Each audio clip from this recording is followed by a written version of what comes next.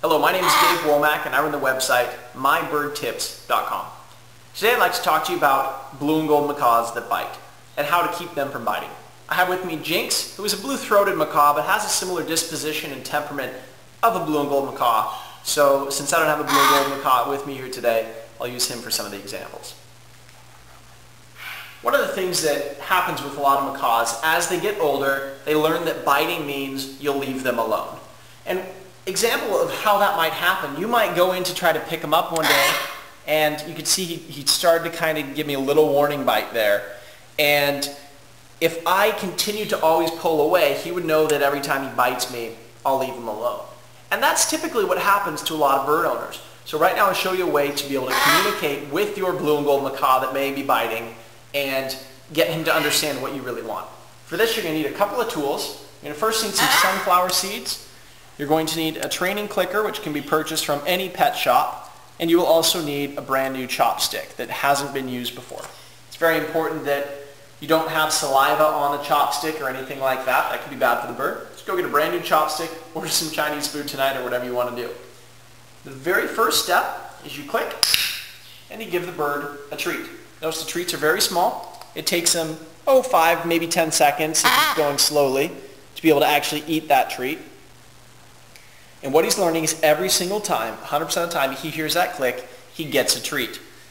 After he knows that, I introduce the chopstick. Now this you want to do very slowly, very cautiously, because your blue and gold macaw might be biting you.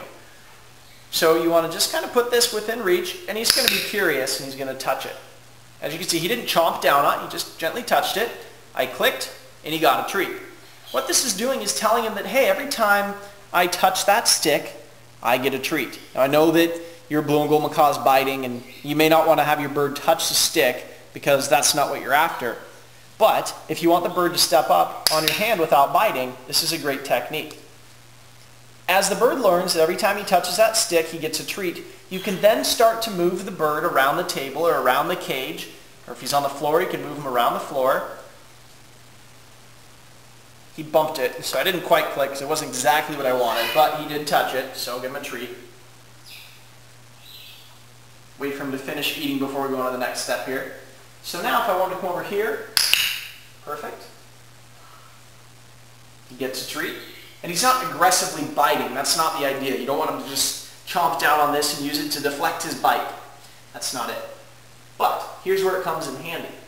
I want my bird to step up, and typically if I move my hand in, if he goes to bite me, now I put my hand just in the right spot to where he touches the stick. He has to step onto my hand to touch the stick. After he's done so, there's a click, and he gets his favorite reward. If you found this video helpful, or maybe it didn't answer all your questions, either way, if you go over to mybirdtips.com, give me your email address, and I'll send you some free videos right now that'll hopefully help get your macaw to stop biting.